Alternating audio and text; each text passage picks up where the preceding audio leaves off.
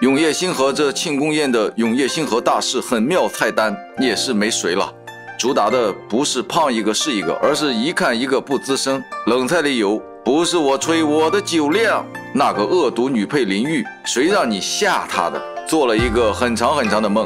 热菜里首推九节大腰，今生吻过你眉目，天启神力。甜点里有经典的兔子苹果。